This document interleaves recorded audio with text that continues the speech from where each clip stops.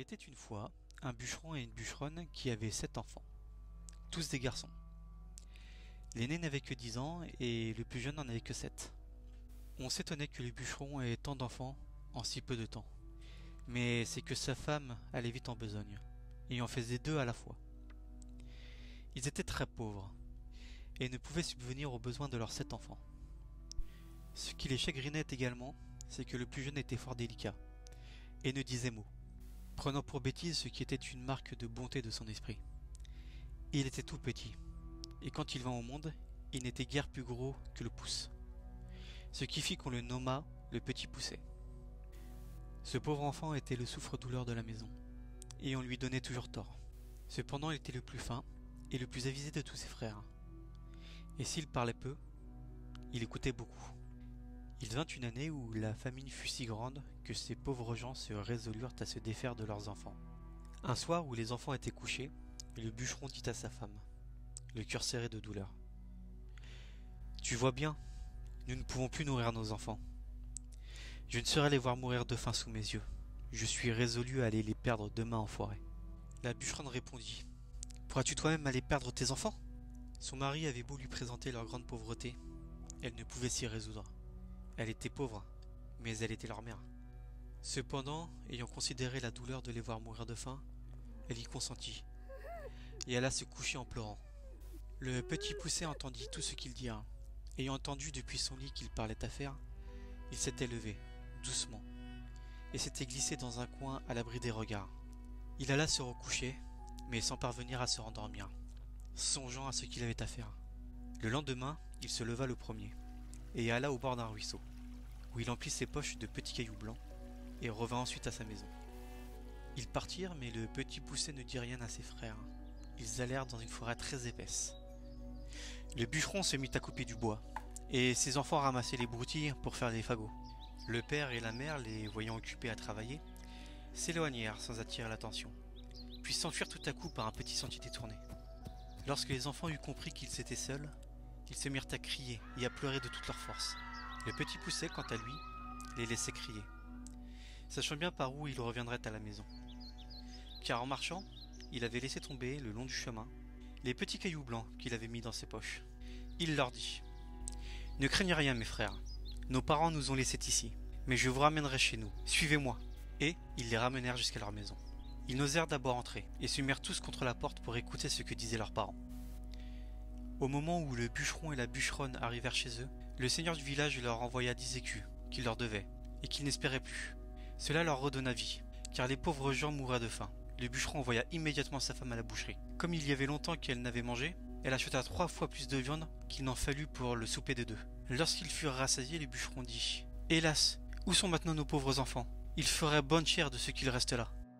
Mais Guillaume, c'est toi qui as voulu les perdre. Que font-ils maintenant, dans cette forêt? Hélas, mon Dieu, les loups les ont peut-être déjà mangés. Tu es inhumain d'avoir ainsi perdu tes enfants. Le bûcheron s'impatienta à la fin, car elle redit plus de vingt fois qu'il s'en repentirait, et qu'elle l'avait bien dit. Il menaça de l'abattre si elle ne se taisait pas.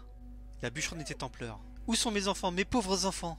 Elle le dit si haut que les enfants qui étaient à la porte l'entendirent, et se mirent à crier ensemble. Nous voilà, nous voilà Elle courut leur ouvrir la porte, et leur dit en les embrassant. Que suis-je contente de vous revoir, mes chers enfants? Vous êtes tous bien lasses. Et vous avez faim? Et toi, Pierrot, te voilà crotté. Viens que je te débarbouille. Pierrot était son fils aîné, qu'elle aimait plus que les autres. Ils se mirent à table et mangèrent d'un appétit qui faisait plaisir à leur père et à leur mère, et à qui ils racontèrent, presque tous ensemble, la peur qu'ils avaient eue dans la forêt. Ces bonnes gens étaient ravis de retrouver près d'eux leurs enfants. Et cette joie dura le temps que les dix écus durèrent. Mais lorsque l'argent fut dépensé, ils retombèrent dans leur premier chagrin, et se résolurent à les perdre de nouveau. Et pour ne pas manquer leur coup, de les mener bien plus loin que la première fois. Ils ne purent parler de cela si secrètement qu'ils ne fussent entendus par le petit pousset, qui fit son compte de sortir d'affaires comme il l'avait déjà fait. Mais bien qu'il se fût levé de bon matin pour aller ramasser des petits cailloux, il ne put le faire, car il trouva la porte de la maison fermée à double tour. Il ne savait que faire, et lorsque la bûcheronne leur ayant donné à chacun un morceau de pain pour leur déjeuner, il songeait qu'il pourrait s'en servir au lieu de cailloux, en le jetant par miettes le long des chemins où il passerait. Il le serra donc dans sa poche. Le père et la mère les menèrent dans l'endroit le plus épais et le plus obscur de la forêt. Et dès qu'ils y furent, ils gagnèrent un faux fuyant et les laissèrent là, Le petit poussé ne s'en chagrina guère, car il croyait retrouver aisément son chemin, grâce au pain qu'il avait émietté partout où il était passé. Mais il fut bien surpris de ne retrouver aucune miette. Les oiseaux étaient venus et avaient tout mangé. Les voilà bien affligés, car plus ils marchaient, plus ils s'égaraient et s'enfonçaient dans la forêt. La nuit vint, et un grand vent se mit à souffler, leur faisant épouvantablement peur. Ils croyaient n'entendre de tous côtés que les hurlements des loups qui venaient à eux pour les manger. Ils n'osaient se parler ni tourner la tête. Il survint une grosse pluie, qui les trempa jusqu'aux os. Ils glissaient à chaque pas et tombaient dans la boue, d'où ils se relevaient, tout crottés, ne sachant que faire de leurs mains. Le petit poussé grimpa en haut d'un arbre pour voir s'il ne découvrait rien. Ayant tourné la tête de tous côtés, il vit une petite lueur, comme une chandelle, mais qui était bien loin, par-delà la forêt. Il descendit de l'arbre, et lorsqu'il fut à terre, ne vit plus rien. Cela le désola. Cependant, ayant marché quelque temps avec ses frères, du côté où il avait vu la lumière, il la revit, en sortant du bois. Ils arrivèrent enfin à la maison où était cette chandelle, non sans frayeur. Ils frappèrent à la porte, et une bonne femme vint leur ouvrir. Elle leur demanda ce qu'ils voulaient. Le petit poussé lui dit qu'ils étaient de pauvres enfants, qui s'étaient perdus dans la forêt, et qu'ils demandaient à dormir. Cette femme, les voyant tous si jolis, se mit à pleurer, et leur dit Mes pauvres enfants, où êtes-vous venus Savez-vous qu'ici est la maison d'un ogre qui mange les petits enfants Hélas, madame, lui répondit le petit poussé, qui tremblait tout aussi bien que ses frères. Que ferons-nous? Il est sûr que les loups de la forêt ne manqueront pas de nous manger, cette nuit, si vous ne nous laissez pas rentrer chez vous. Et cela étant, nous aimerions mieux que ce soit monsieur qui nous mange. Peut-être aura-t-il pitié de nous. La femme de l'ogre, qui crut qu'elle pourrait les cacher de son mari jusqu'au lendemain matin, les laissa entrer, et les mena à se chauffer près d'un bon feu, car il y avait un mouton tout entier pour le souper de l'ogre. Alors qu'ils commençaient à se réchauffer, ils entendirent frapper trois ou quatre grands coups à la porte. C'était l'ogre qui revenait. Aussitôt sa femme les cachèrent sous le lit, et alla ouvrir la porte. L'ogre demanda d'abord si le souper était prêt, et aussitôt se mit à table. Le mouton était encore sanglant, mais il ne lui en sembla que meilleur. Il reniflait à droite et à gauche, disant qu'il sentait la chair fraîche. Sa femme lui répondit que c'était le veau qu'il sentait. Je sens la chair fraîche, reprit l'ogre, en regardant sa femme de travers. Il y a ici quelque chose de louche. En disant ces mots, il se leva de table et alla droit au lit. Ah, dit-il, voilà donc comme tu veux me tromper, maudite femme. Il les tira de dessous le lit, l'un après l'autre. Ces pauvres enfants se mirent à genoux, en lui demandant pardon. Mais ils avaient affaire au plus cruel de tous les ogres. Il dit alors à sa femme que ce serait là de friands morceaux, lorsqu'elle leur aurait fait une bonne sauce. Il alla prendre un grand couteau, et en s'approchant de ses pauvres enfants, il l'aiguisa le long d'une pierre qu'il tenait à sa main gauche. Il en avait déjà empoigné un lorsque sa femme lui dit Que voulez-vous faire à cette heure? N'aurez-vous pas assez de temps demain matin? Tais-toi, reprit l'ogre, ils en seront plus mortifiés. Mais vous avez encore là tant de viande, reprit sa femme. Voilà un veau, deux moutons et la moitié d'un cochon. Tu as raison, dit l'ogre. Donne-leur à souper, afin qu'ils ne maigrissent pas. La bonne femme fut ravie de joie, et leur porta à souper. Mais ils ne purent manger, tant ils étaient saisis de peur. Quant à l'ogre, il se remit à boire, ravi d'avoir de quoi se régaler. Il but une douzaine de coupes, plus qu'à l'ordinaire, ce qui lui donna un peu mal à la tête, et l'obligea à aller se coucher. L'ogre avait sept filles, qui n'étaient encore que des enfants. Ces petites ogresses avaient tout le teint fort beau, parce qu'elles mangeaient de la chair fraîche, comme leur père. Elles avaient de petits yeux gris et tout ronds, le nez crochu et une grande bouche, avec de longues dents fort aiguës, et éloignées les unes les autres. Elles n'étaient pas très méchantes, mais promettaient beaucoup, car elles mordaient déjà les petits enfants pour leur sucer le sang. On les avait fait coucher de bonne heure, et elles étaient toutes sept dans un grand lit, ayant chacune une couronne d'or sur la tête. Il y avait dans la même chambre un autre lit, de même grandeur. Ce fut dans ce lit que la femme de l'ogre mit à coucher les sept petits garçons. Après quoi, elle alla se coucher auprès de son mari. Le petit poussé, qui avait remarqué que les filles de l'ogre avaient des couronnes d'or sur la tête, et qui craignait qu'il ne prît à l'ogre quelque remords de ne les avoir égorgées dès le soir même, se leva vers le milieu de la nuit, et prenant les bonnets de ses frères et le sien, il alla tout doucement les mettre sur la tête des sept filles. Après leur avoir ôté leur couronne d'or, qu'il mit sur la tête de ses frères et la sienne, afin que l'ogre les prît pour ses filles, et ses filles pour les garçons qu'il voulait égorger.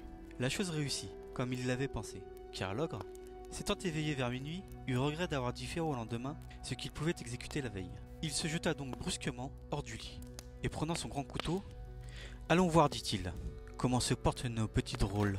Il monta donc à tâtons à la chambre de ses filles, et s'approcha du lit, où étaient les petits garçons, qui dormaient tous excepté le petit poussé, qui eut bien peur lorsqu'il sentit la main de l'ogre qui lui tâtait la tête, comme il avait tâté celle de tous ses frères. L'ogre, qui sentit les couronnes d'or, Vraiment, dit-il, j'allais faire là un bien bel ouvrage. Je vois bien que j'ai trop bu hier soir. Il alla ensuite au lit de ses filles, où, ayant senti les bonnets des petits garçons, Allez voilà, dit-il, nos gaillards, travaillons hardiment. En disant ces mots, il coupa sans hésiter la gorge de ses sept filles. Fort content de ce coup, il alla se recoucher auprès de sa femme. Aussitôt le petit pousset entendit ronfler l'ogre. Il réveilla ses frères et leur dit de s'habiller promptement et de le suivre. Ils descendirent, doucement, dans le jardin, et sautèrent par-dessus la muraille. Ils coururent presque toute la nuit, toujours en tremblant, et sans savoir où ils allaient. L'ogre s'étant éveillé, dit à sa femme Va-t'en là-haut, habille les petits drôles d'hier soir. L'ogresse fut fort étonnée de la bonté de son mari, ne se doutant point de la manière dont il entendit qu'elle les habilla. Et, croyant qu'il lui ordonnait d'aller les vêtir, elle monta en haut, où elle fut surprise lorsqu'elle aperçut ses sept filles, égorgées, et nageant dans leur sang. Elle commença par s'évanouir car c'est le premier expédient que trouvent presque toutes les femmes en pareille circonstance. L'ogre, craignant que sa femme ne fût trop longtemps à faire la besogne dont il avait chargé, monta en haut pour l'aider. Il ne fut pas moins étonné que sa femme lorsqu'il vit cet affreux spectacle. Ah qu'ai-je fait là s'écria-t-il. Ils me le paieront les malheureux, et bientôt. Il jeta aussitôt une potée d'eau au visage de sa femme, et l'ayant fait revenir, Donne-moi vite mes bottes de cette lieu, lui dit-il, afin que j'aille les rattraper. Il se mit en campagne, et après avoir couru bien loin et de tous côtés, Enfin, il entra dans le chemin où marchaient les pauvres enfants, qui n'étaient plus qu'à une centaine de pas du logis de leur père. Ils virent l'ogre qui allait de montagne en montagne et qui traversait les rivières aussi aisément qu'il l'aurait fait du moindre ruisseau. Le petit pousset, qui vit un rocher creux, y fit cacher ses six frères et s'y fourra aussi, regardant toujours ce que l'ogre devenait. L'ogre, qui se trouvait fort las du chemin qu'il avait fait inutilement, car les bottes de cette lieu fatiguent fort leurs hommes, voulut se reposer. Et par hasard, il alla s'asseoir sur le rocher, où les petits garçons s'étaient cachés. Comme il n'en pouvait plus de fatigue, il s'endormit, après s'être reposé quelque temps, et vint à ronfler si effroyablement. Les pauvres enfants n'en eurent pas moins peur quand il tenait son grand couteau pour leur couper la gorge. Le petit pousset eut moins peur, et dit à ses frères de s'enfuir promptement à leur maison, pendant que l'ogre dormait. Ils coururent et gagnèrent vite leur maison. Le petit pousset, s'étant approché de l'ogre, lui retira doucement ses bottes, et les mit aussitôt. Les bottes étaient bien grandes, et bien larges, mais comme elles étaient magiques, elles avaient le don de s'agrandir et de se rapetisser selon la jambe de celui qui les chaussait, de sorte qu'elles se trouvèrent aussi juste à ses pieds et à ses jambes que si elles avaient été faites pour lui. Il alla droit à la maison de l'ogre, où il trouva sa femme qui pleurait auprès de six filles égorgées. Votre mari, lui dit le petit pousset, est en grand danger. Une troupe de voleurs ont juré de le tuer, s'il ne leur donne pas tout son or et tout son argent. Au moment où il lui tenait le poignard sous la gorge, il m'aperçut et m'a prié d'aller vous avertir de l'état où il est, de vous dire de me donner tout ce qu'il a de valeur, parce qu'autrement, ils le tueront, sans hésiter. Comme la chose presse beaucoup, il a voulu que je mette ses bottes, et aussi afin que vous ne croyiez pas que je suis un menteur. La bonne femme, effrayée, lui donna aussitôt tout ce qu'il voulait. Le petit pousset, chargé de toutes ses richesses, revint au logis de son père, où il fut reçu avec joie. Lorsque le petit pousset chaussé les bottes de l'ogre, il s'en alla à la cour, où il savait qu'on était fort en peine d'une armée qui était à 200 lieues de là et du succès d'une bataille qu'on avait donnée. Il alla trouver le roi et lui dit que s'il le souhaitait, il lui rapporterait les nouvelles de l'armée avant la fin du jour. Le roi lui promit une grosse somme d'argent s'il en venait à bout. Le petit pousset rapporta les nouvelles dès le soir même. Cette première course, l'ayant fait connaître, il gagna tout ce qu'il voulut, car le roi payait parfaitement bien pour porter ses ordres à l'armée. Et une infinité de dames lui donneraient tout ce qu'il voulait pour avoir des nouvelles de leurs amants. Et ce fut là son plus grand gain.